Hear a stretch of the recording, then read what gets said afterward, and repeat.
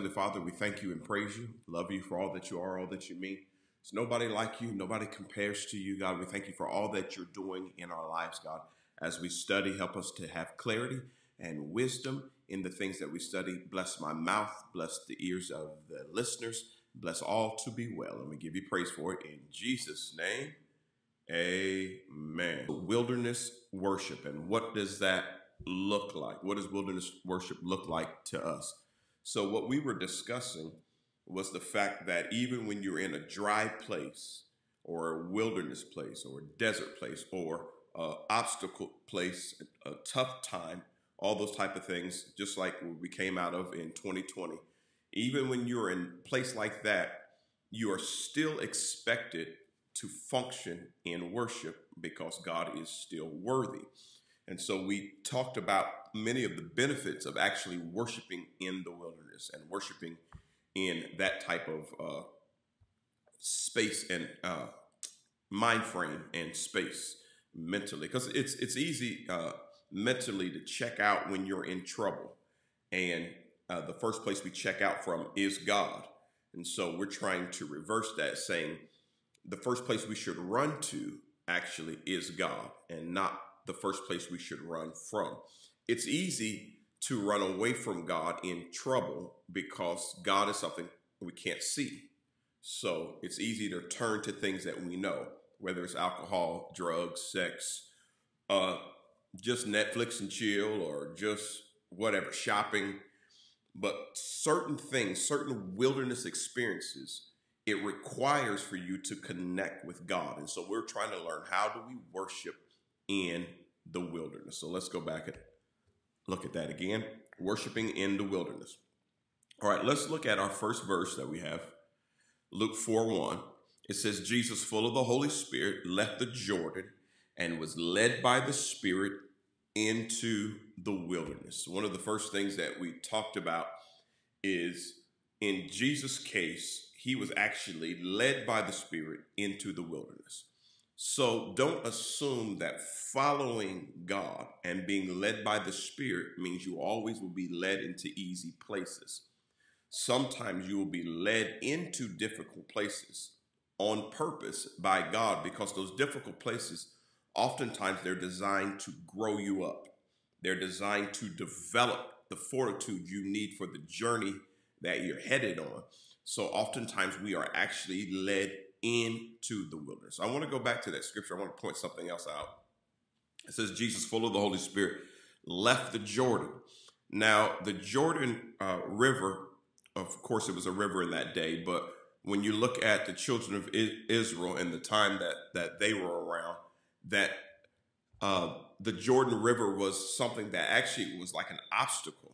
Uh, in Joshua's day, the Jordan River functioned just like the Red Sea, where they actually had to cross over it. So imagine, spiritually speaking, you have to cross over a Jordan. You have to deal with the Jordan. You have to deal with all that uh, the Jordan brings. Uh, in Kings, it talks about the J- Jordan being muddy, being dirty. In uh, Joshua, it talks about them having to cross over it.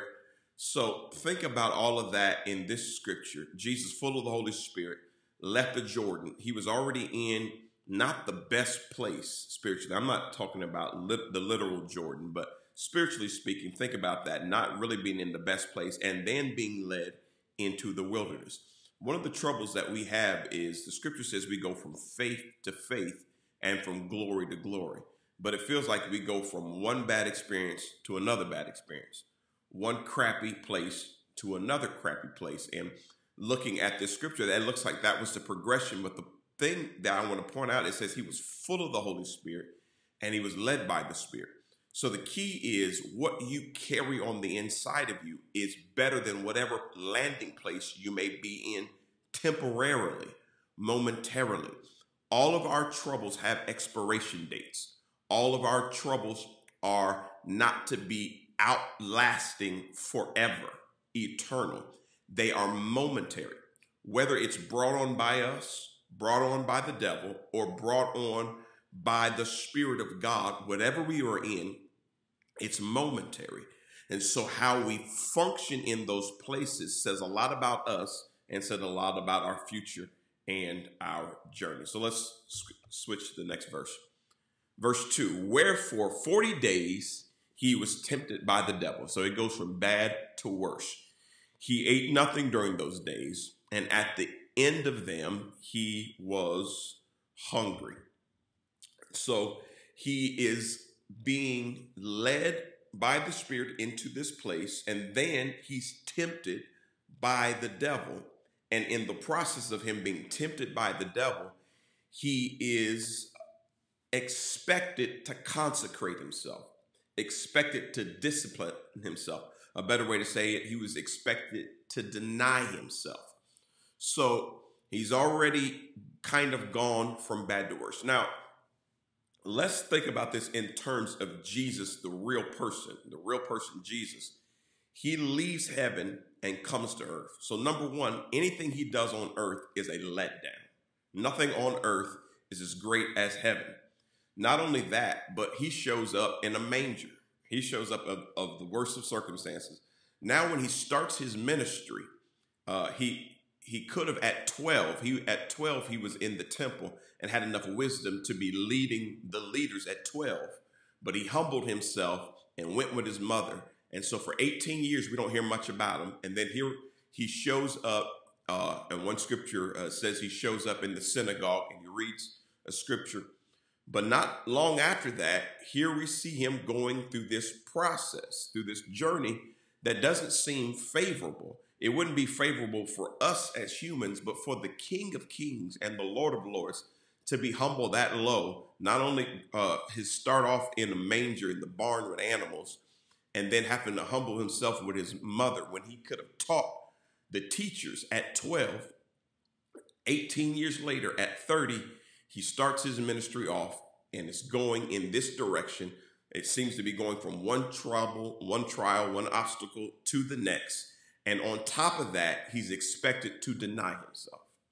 On top of that, he's expected to walk in discipline. On top of that, he has normal desires. The Bible says he was hungry.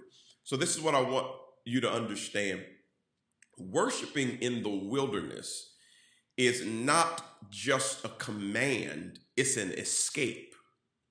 It's an escape for us because life, especially when you're doing something major, life can be stressful, full of stress. And many of the stops on your journey are filled with stress. And sometimes it's compound stress, stress on top of stress. And then you're trying to discipline yourself you're trying to buckle down. You're trying to deny yourself basic needs and pleasures.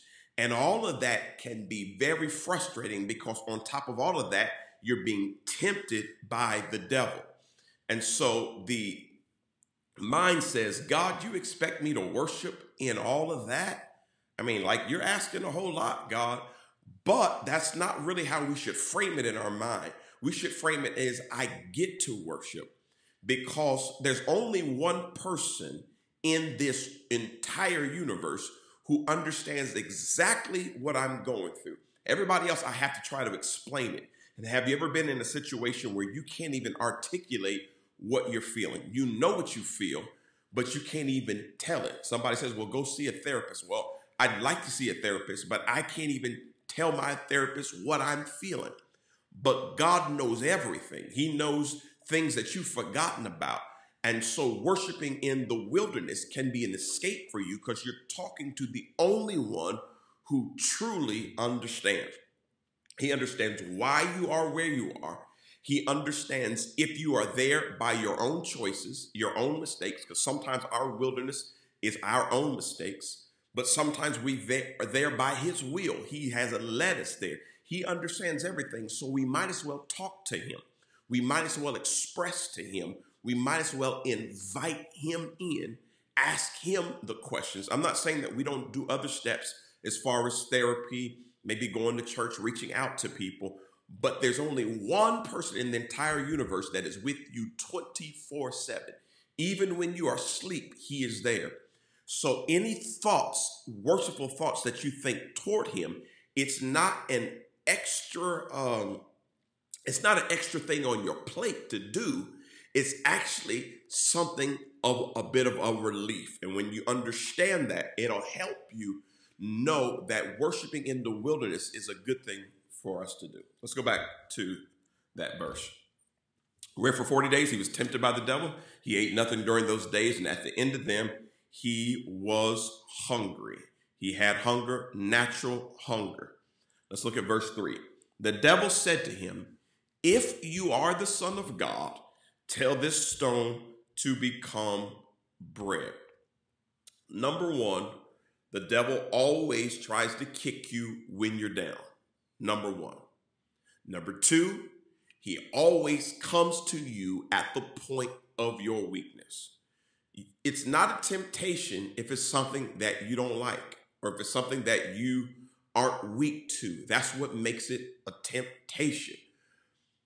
You know, it's not really a temptation for me to eat chitlins. I don't like them, never have liked them. That's not tempting to me. But there's other things that are very tempting because I am weak in those areas. When it comes to food, cookies and sweets, that's tempting to me. So if I'm on a diet, you can't tempt me to break my diet with chitlins. If I'm on a fast, can't tempt me to break my fast with chitlins. However, if I'm on a diet or I'm on a fast, you can tempt me with sweets because that's something that I enjoy. So the devil is going to, number one, kick you where you're down. Number two, he's going to come to you at the point of your weakness. Not all of our weaknesses are our fault. Sometimes our weaknesses are a culmination of other things. Sometimes uh, people's choices that they've done have put us in a place where we're weak.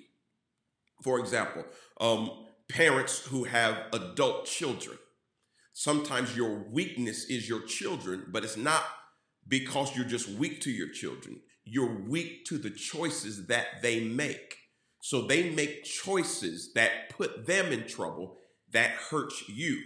So now you walk around with fear. So the devil can tempt you to worry about your children, not because of anything you've done wrong, but because of some of your children's past choices. They've made choices that have put them in places that have adversely affected your life. So now the devil can threaten you with that weakness, but that wasn't a weakness that you chose.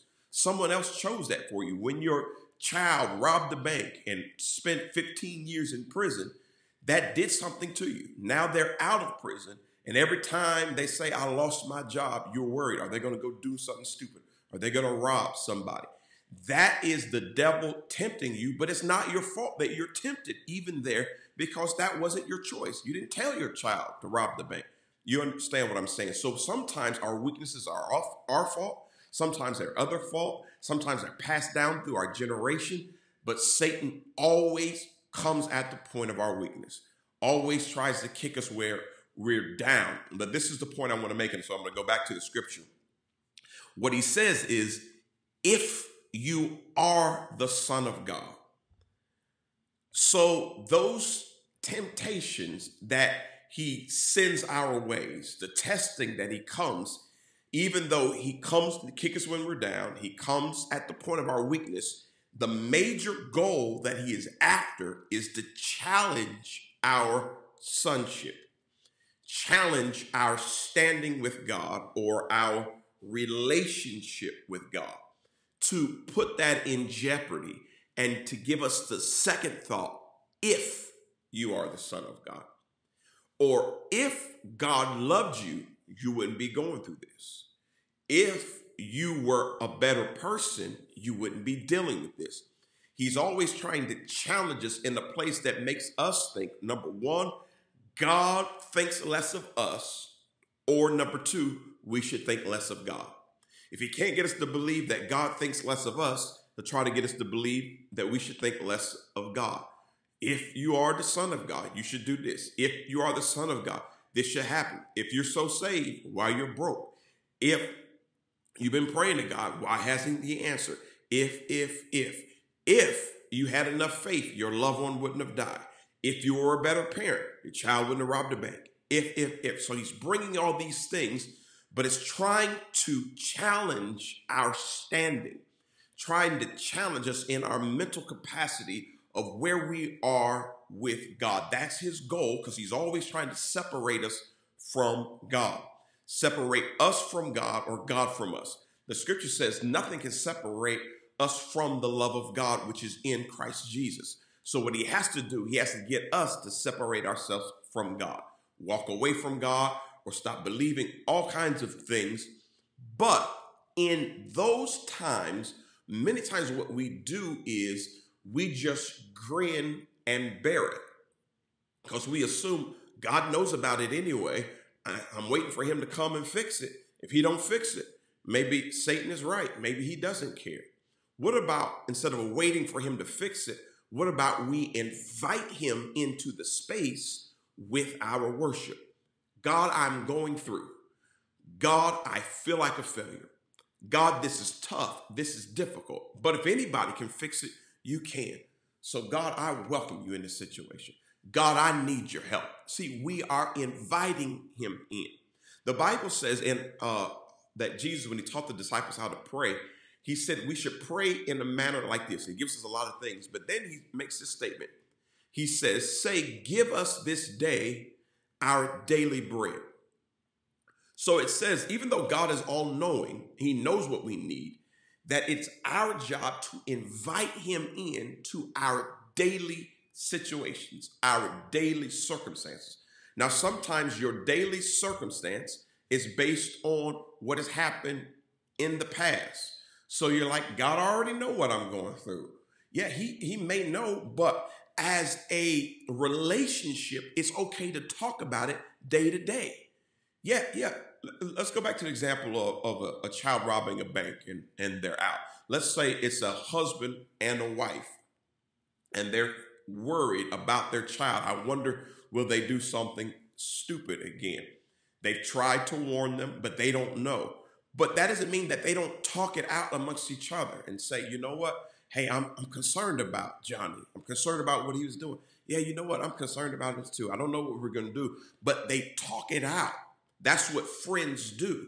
So, worship is understanding that God is your friend. Yes, He's your creator. Yes, He's your master. But at the end of the day, He's your friend. And worship says, I'm going to invite Him into my daily trouble. God, give me today my daily bread. I don't know how I'm going to face today. Whew. Today is hump day, and I need you to help me to get over the hump. I, you are inviting him him. That's what Satan doesn't want you to do. He wants to separate you and give you all these if, ifs, and ifs. But instead of just thinking of those things and worrying on those things, you might as well talk to God about it. You know what? God, sometimes I feel like you're not there for me. Oh, no, I can't say that. You can't question God. Why not talk to Him? That is worship. Because you are worshiping Him with your lifestyle, you're saying, God, I believe you have the answer. Right now, I'm the one that's confused. So we're going to talk it through. I'm going to tell you where I am presently. Where I am presently, I don't feel like you got my back, God. But I'm not going to tell anybody else that. I'm not going to agree with Satan. I'm going to talk to you and I'm going to give you a chance to prove me wrong. That's what I mean by worshiping in the wilderness. It's being truthful, it's being honest. And sometimes the responses that God gives you will change your life. Sometimes he doesn't answer audibly, and very rarely does he answer audibly. But all of a sudden, inside of you, you start thinking, you know what? I should probably go to therapy. That didn't just come out of the air. Then you you you look at something on YouTube, and all of a sudden, your favorite person that is being interviewed, you love Denzel Washington. He talks about a time where he went to therapy. That's God giving you your answer. He's leading and guiding you. And what he's doing, he's pushing Satan out of the way and he's fixing the situation for you, but it takes you coming into that place where you're willing to worship him in the wilderness. All right, let's go back to the scripture. If you are the Son of God, tell the stone to become bread. So there's always a command that Satan wants us to do to prove we are what we say we are, but he's not our boss, so we shouldn't be listening to him. Let's go to verse 4. Jesus answered, It is written, Men shall not live by bread alone. Now, I could get into detail on why Jesus said what he said back, but I, I don't want to do that. I want to just generally look at what he's saying and apply that to the conversation that we're having right now. He responds, Man shall not live by bread alone, which is exactly what I'm saying to you. His response is that my greatest need is not a natural need. Yes, right now I'm naturally and physically hungry, but the core of who I am as a man, the core of who I am as a woman, the core of who I am as a as a human is not going to be satisfied by natural means. So I understand what you're bringing to me, Satan. And yes, it is tempting. It is a temptation. But the reason why I'm not biting on it is because I understand that my real source doesn't come from anything that you can offer or anything you can point me to. Man does not live by bread alone. My life source, the nucleus, the core of my life, is not driven by natural means. Man shall not live by bread alone. Let's go to uh, this other verse here. Well, let, let me read, read that. Wilderness worship is standing on the word even when you're weak, which is what we see that Jesus was doing. He was standing on the word, even in the place where he was weak. And so uh, I, I, still want to go back to the scripture because I, I want I want to kind of dig dig in it just a little bit. So we're going to go back to that. Jesus answered, "It is written, man shall not live by bread alone." So man shall not live by bread alone, shall not function by bread alone, shall not function by the normal, the necessary. We we have. Uh, uh there's another uh, scripture that Jesus said. I think this will help me explain it. Jesus said, uh, "I have meat that you know not of." So the disciples are like, "Oh, where you been, Jesus? And have have you been eating?" They, they were wondering. He's like, "I I have meat that you don't understand. In other words, I get fed by sources that you don't understand. For many of us, worship feeds us. And so we can go through a bad situation. We can find out about a loved one passing and go and turn on worship music and just listen to it and think about God and cry. And someone is saying, Man, why are you thinking about God? He, if he's so great, why didn't he keep your loved one alive? But Man doesn't live by bread alone. See, see, you you can maybe you can function by complaining to God and and making God the problem, making God the issue. But I I can't live that way. My nucleus, the core of who I am, is me connecting with my creator continually. So even though I don't understand what he's done, I would rather be in his presence confused than be outside of his presence with all the answers because I'm fed and I'm fueled by his presence. So, God, if I just got to lay here confused and cry, I'm turning this music on. I'm going to let it play and I'm just going to I'm just going to be in your presence. I don't understand.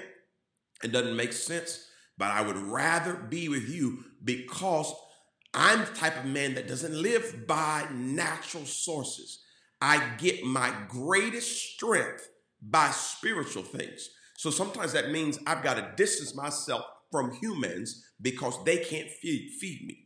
Distance myself from natural relationships because they can't feed me right now. I'm not saying that I don't have a friend I can call, a person I could talk to, but my greatest advancement is when it's me and God alone. And God doesn't have to be saying anything, He doesn't have to be fixing all my problems. It's just that the way I live, I live in his presence. I live by the way I worship him. And people who live like that, who don't, don't function on bread alone, it's hard to kick them down. And it's hard to keep them down because they always bounce back. They have a, a mentality that they will always come back stronger than they were because their source is otherworldly. Their source is not of this world, so this world can't hold them down. They are seated in heavenly places in Christ Jesus. So their source is heavenly. And because their source is heavenly, there's nothing this world can do that could really bring them down. They may be down momentarily, but when they are down and they're in that wilderness moment, they will just worship. And what will happen? They will rise again. And when we understand the story of Christ, that he went to the cross, he, he left the cross, went to the grave, left the grave, went into hell. But what makes the story the greatest is that he rose again. And we call that resurrection power. And the Bible says the same spirit that raised Jesus from the dead dwells in you. So we have a resurrection power in us. We have bounced back power. So we don't function by bread alone. We function by that power that's in us that will lift us back up even when we're down, that will repair our marriage even when it's torn, that will fix our money even when it's been messed up, that'll fix our mind. All we have to do is have the wisdom to worship in the wilderness. Man shall not live on bread alone. Let's go to uh, verse 5. The devil led him up to a high place and showed him in an instant all the kingdoms of the world. This is very important. Verse 6 And he said to him, I will give you all their authority and splendor. It has been given to me, and I can give it to any one I want to. If you worship me, it will all be yours. If you would switch and worship me. So this is what I, I the picture I want to paint to you. When you are a worshiper, Satan knows he can't stop you from worshiping. So instead, what he will attempt to do is get you to worship the wrong thing. To get the worship that should go to God to get you to place it in something else because you don't live by bread alone. You tap into other sources. So, what Satan will try to do is offer you shortcuts to get what you want by displacing your worship somewhere else. Now, I don't mean to be unfair when I say this, but as a pastor, a youth pastor first, and a pastor, I've seen this a lot with women and their relationships. It's not all their fault because number one, the Bible talks about in Genesis when they, when the ground was cursed and things were cursed.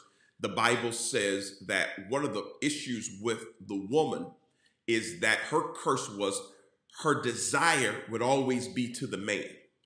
And so I don't have time to really dig into all of that. But fast forward to what I've seen oftentimes is many times uh, women are well meaning in talking to God, saying, God, I want someone to help me carry my life out. I don't want to be lonely. So I want a man. I want you to send a man. But when God begins to open up doors and avenues for them to either date, to see people, to connect with people, many times the worship and the attention that they once gave toward God they shift it toward the man that God allows to come into their life. And that's demonic. Because what God is what God wants us to do is always keep him as first priority. Not only that, I'm going to stay on the women for a second. I've seen it also women who have a desire to have children and they want God to open their womb and they have children and then their children become their priority because as a mother, that's who they are. They're nurturers. However, if it's misplaced, that is also demonic. And what Satan is doing, he's taking something real and righteous and trying to twist it to get it out of order. Men often do that with their work, putting their work in front of God. I've seen many men pray for God to give them a job. They just want to work, especially if they were hustling, uh, selling drugs. They got locked up in prison. They come out, they got a fresh start. Man, I just need a job, Pastor. I need you to pray for me to have a job. I got to have some money coming in. I got child support. I got probation fees I got to pay. And then they get a chance to get a job. And sometimes, oftentimes, the way our system's set up, they don't get a job good enough and they'll just go right back to the streets. There are other times that they get a job and they're gainfully employed for the first time. And it blows their minds. Like, man, I can make legitimate money. They feel good about themselves. But then Satan will twist it to get them to worship the job. Now, all they think about is overtime. All they think about is profit share. All they think about is what they can do with the money legally. And God has been put on the back burner. We have to be careful when we are worshipers because we will worship something. If you're a worshiper, you will worship something. That's why it's important to worship in the wilderness because oftentimes in the wilderness, there's no other distraction. Everything else is jacked up. You have no choice but to turn to God. It's good to do that, to learn that, so that when you come out of the wilderness, every part of your life is not wilderness experience. Every part of your life is not in the valley. Sometimes you are on the mountaintop. But what you have to understand is if I can worship God in the valley and I can worship God in the wilderness, then I should be able to worship Him on the mountaintop. When I get on the mountaintop, I should not focus on the mountaintop. I should focus on the one that got me to the mountaintop. I shouldn't focus on the man. I should focus on the one who got me the man. Shouldn't focus on the children. I should focus on the one who got me the children.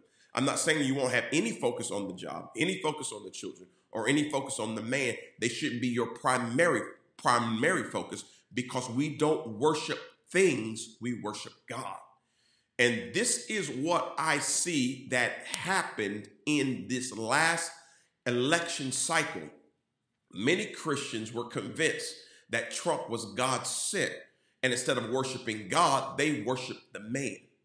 And no matter how far he got off and no matter what he did, they always made excuses for it because they got to the place where they were worshiping the man. I can't say that about all people who who uh, were Trump supporters, but I can say that there were a lot.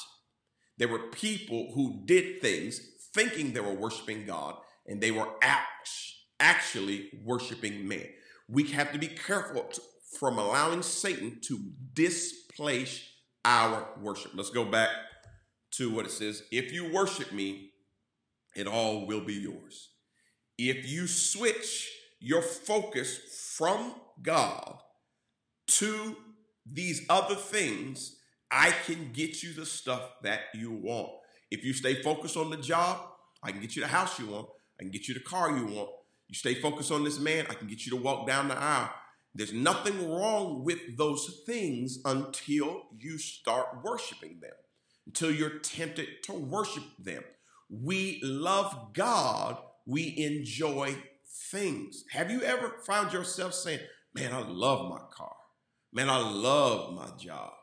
Man, I love meatloaf. I love lasagna. Nothing wrong with saying those things because it's a figment of speech until it actually becomes truth that you're actually loving objects. The Bible says God gives us all things richly to enjoy. It's okay for us to take pleasure from it, enjoy it, but when we love it to the place where it drives us, then we are worshiping it. Because the Bible says we should have no other gods before us and we should worship Him and Him only. Our greatest love should go to Him. Everything else should be secondary love. It's hard to understand that but it's truth. The Bible says when it comes to your love and loyalty to Jesus or God versus what you place to your family, it should almost seem like hate. He says, No one should come to me unless they're able to hate their mother, their father, their brother, their sister. Now, of course, it wasn't talking about hate because God doesn't want us to hate, but compared to the way we give God love and worship, nothing else should feel quite the same. And nobody in your life should demand that from you. Nothing that demands you switch your worship from God to them or it is operating godly. They're operating out of the demonic. Jesus answered, It is written, worship the Lord your God, and him only shall you serve, is what the King James says. This is, I believe this is the New International. It says, worship the Lord your God and serve him only. In other words, our servitude should come to him only.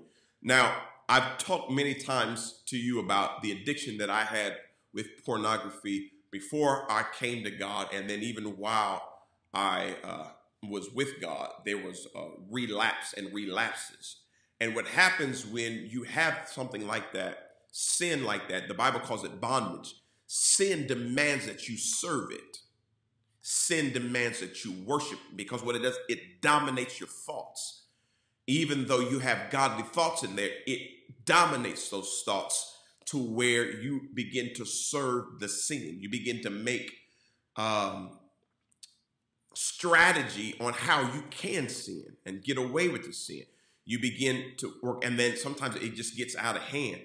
And I found out that worshiping God is the only way to get out of it because what you're doing, worship, what worship actually means, it means to magnify. And the word magnify means to exalt and enlarge. So once we begin to magnify God, exalt him and enlarge him above all our issues and troubles and hangups and sins, he becomes bigger than everything. And once he becomes bigger than everything, he consumes everything. And there's nothing in your life that can stay that God doesn't want there if you consistently begin to bring him into everything, even when you're messing up God, God, I need you to come in. I need you to fix this. God, God, this is what I'm doing. This is where I am. But God, it's not right. I trust you. I say your word is right. God, God, I may be doing this, but I don't agree that it's right. I agree that you're right. I'm the righteousness of God in Christ Jesus. I won't be like this forever. God, deliver me. God, save me. God, I'll worship you for delivering me. I'll worship you for bringing me out. I worship you that I won't be like this forever. I worship you that I won't need this forever. I worship you that I won't crave this forever. What you're doing, instead of putting all your focus on the failure, you're putting your focus on the God that can bring you out of the failure. I wanted to go to my whiteboard, but I, got carried away. I want to put this up on the screen. Wilderness worship is refusing to worship something else to get ahead and then we use this on Sunday morning. Wilderness worship means no demonic shortcuts. No demonic shortcuts. Anything that the devil is offering that might get us ahead, but it causes us to lose our relationship with God or lower our relationship with God or put our relationship with God on the back burner is demonic.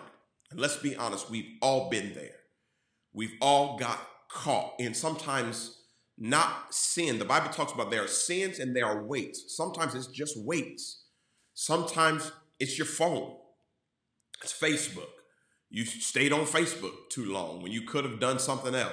Sometimes we get carried away, we get caught up. But once we get convicted, we don't buck against it and get defensive, we yield and we worship God by saying, God, you know what? That's right. I, I, I gave too much time to that. I gave too much focus to that. God, what do you want?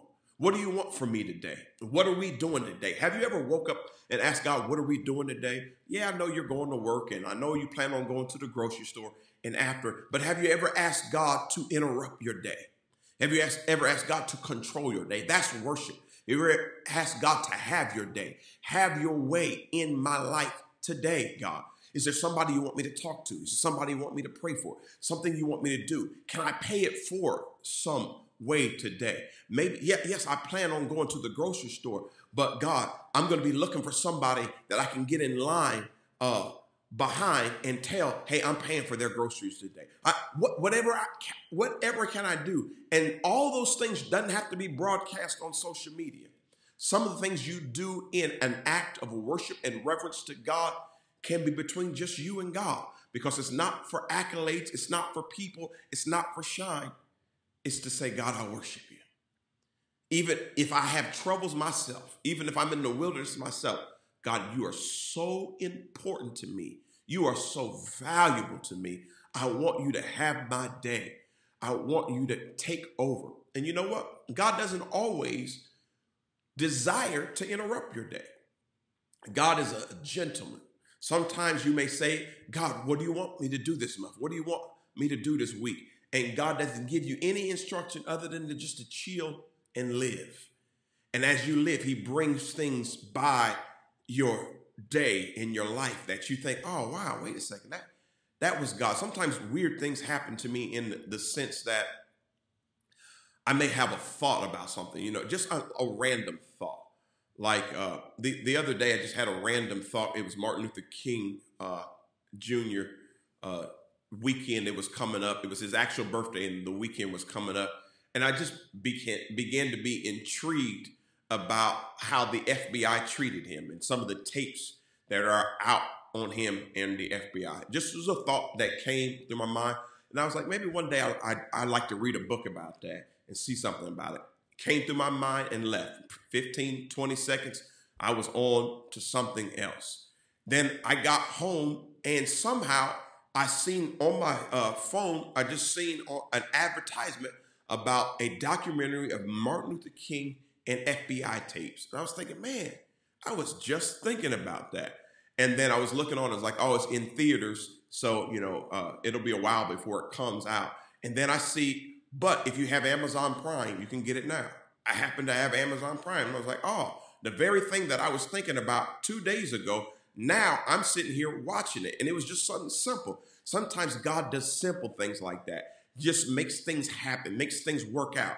And you don't have to be super deep about it, but sometimes you know it's like, man, how did that work? How did that? It was God that did it. And so you worship him and just by saying thank you. You're rushing and you need to go to the store and grab something real quick, but you need to be in and out. And while you're getting there, man, Walmart's to be packed. And all of a sudden, the moment you pull on the aisle, somebody on the very first parking lot is backing up and there's nobody there to take it and here you are getting that very first parking spot. You say, God, thank you for this, because that was God. God cares down to the little details of your life. Everything is not super spiritual. He cares about the smallest, minutest detail of your life. And when you see God working in your life, you worship Him. You thank Him. That's why we don't change and trade for the demonic because the demonic can give us some pleasures momentarily. The Bible says uh, the joys of sin last but for a moment, but the pleasures of God, they last for a lifetime. So I would rather go through life worshiping a God that does little things along the way than to trade it in for a God that can, for a, a, a devil that would promise me something right now. That's a good place for you to say amen, somebody. All right, let's let's uh, move on. Let's look at Luke four and nine. So I'm gonna take my time and, and read that one. The devil led him to Jerusalem and had him stand on the highest point of the temple. If you are the Son of God, remember he's back to that. He said, "Throw yourself down from here." Before I uh, before I discuss that part, what I'd like to say is he starts off with that, "If you are the Son of God." And then he tries to get him to worship him. And then he goes back to if you are the Son of God. This is something you have to understand. If Satan can get you to worship him, he knows you're not really a son of God. Because if you worship him, then you don't really have relationship with God. He will always try to get you to do it though. But once Jesus didn't bite on it, he went back to his old thing. Well, if you are the Son of God. In other words, what Satan is saying, I know you're a child of God. And so, first thing I'm going to do is I'm going to try to challenge that. If you don't bite on that, I'm going to try to get you to worship something else because if you worship something else, then you can't be worshiping God. The Bible says you can't worship God and mammon, God and money, God and materials. You can you really only have place in your heart if you're a son of God, a child of God. You only have your place in your heart to worship one thing. So first, he's going to challenge you if you are a son of God. If you if it looks like you are, he's going to try to get you to displace your worship. If he can't get you to do that, he's going to come back and he's going to challenge your sonship again. So let me say this. If you always deal with the fact, man, I wonder if I'm even saved. I'm, if I was saved, why would I be thinking these thoughts? If you keep coming back to that, it's because you are saved. Because people who are unsaved don't wonder if they are saved or not. They don't care. So the fact that he's challenging your standing with God means you have a standing with God. He tried to get you to take the demonic. You didn't take it, so he's got to go back to the old stuff. He, he's a one trick pony. He's only got a few things. It comes basically down to one simple thing he's jealous. He was in heaven, got prideful, got kicked out of heaven. He was trying to be like God and then he got so prideful, he said, I'm better than God. What God did is create someone who was lower than him. Humans are lower than angels. Create someone lower than him, put the image of God in them, and give them dominion. So he's been ticked off at us from the beginning. We are a slap in his face because what he wanted, we have. He wanted to be like God and then be better than God God gives us the chance to be like him and then says, with him, we'll always be better because we always will be with him. He was dumb enough to try to be greater than God. God says, You don't have to be greater than me. I'll let you be with me. So he's jealous of us. So everything that he tries to do is to disassociate us with our relationship with God. Continually worshiping God deepens and strengthens the relationship. So he's always going to try to test and tempt you to break relationship with God. If you don't break it, the only thing he has left is trying to convince you that you're not what God says you are. You're not saved. You got angry. You cussed. You lied. You ain't got nothing. You ain't anointed. I, I know you can fool the folk in the church, but I know who you really are. But guess what? God knows who I really am. God knows I'm a mess and he allows me to worship him in my mess. Worshiping is lifting our heart to God. Here's the thing about life. Sometimes things get in our mind. The Bible tells us this. I don't have time to really break it down. But if they stay in our mind long enough, they get into our heart. The scripture says it this way out of the abundance of the heart, the mouth speaketh.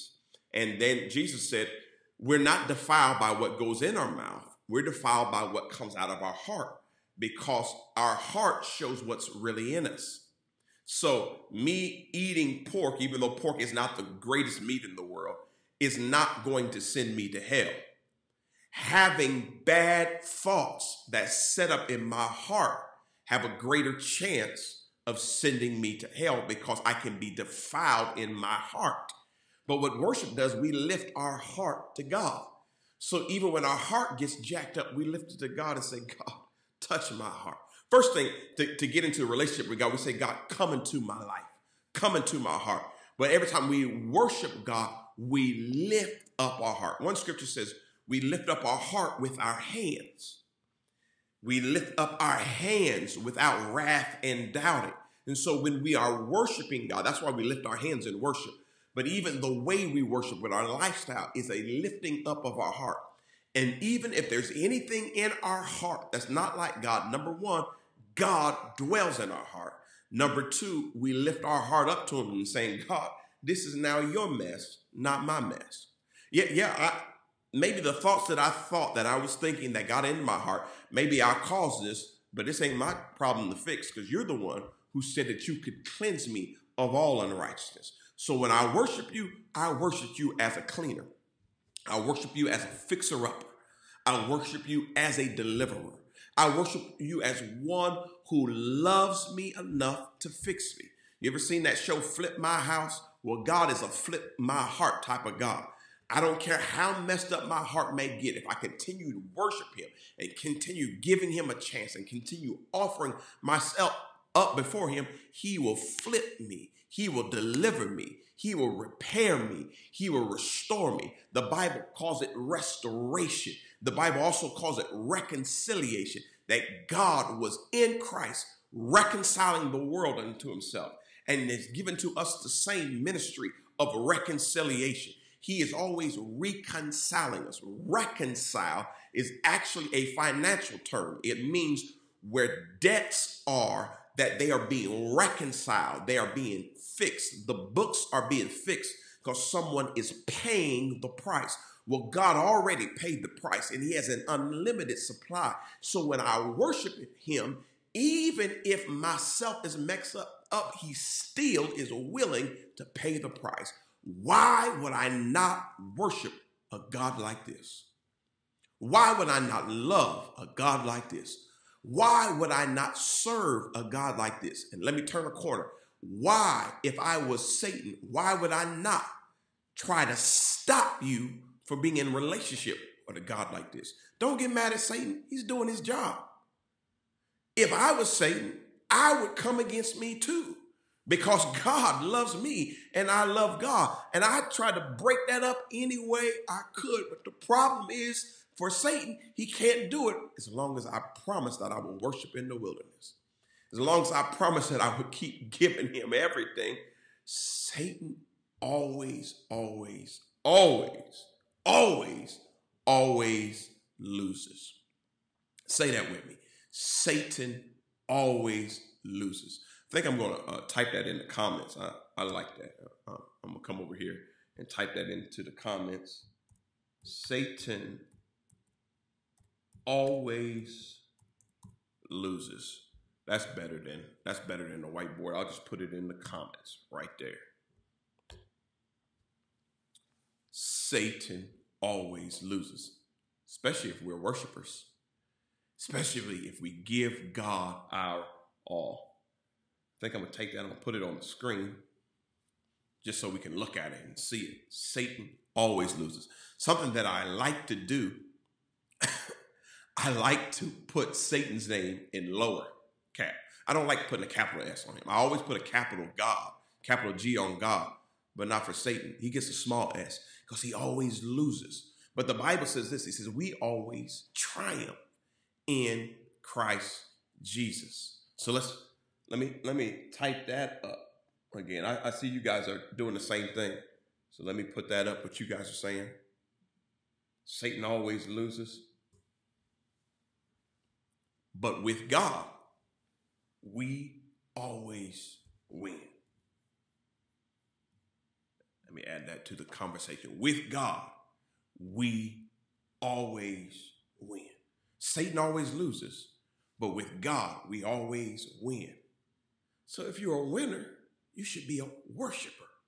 If you already know the outcome, you already know you're going to win, we are going to win, worship God now. Worship Him for what you know is coming. Everything's not going to be fixed, but we worship in the wilderness. It's okay. We always win, and Satan always loses. So we worship God. We worship God. I just want you to let that sink in your spirit that we always win and Satan always loses. Let's go into prayer. Dear gracious Heavenly Father, we thank you, praise you. God, we honor you that we have the right to worship you. There's nobody akin to you, nobody like unto you. And the, the, the pathway of worship is the only pathway. Because what we're saying is, God, you are always worthy, no matter what we're going through. We don't have to wait till we win to show you and prove that we know, God, that you are worthy. God, you are always worthy and you always cause us to triumph. We always win. Satan is never worthy. And so we will give you the worship and we won't exchange our worship for anybody but you because you are our life. And for that, we praise you and love you. In Jesus' name, amen and amen. Saints, all I got to say is God bless you. Have a great week. We love you and we honor you. And we thank you for tuning in to DT Bible Study.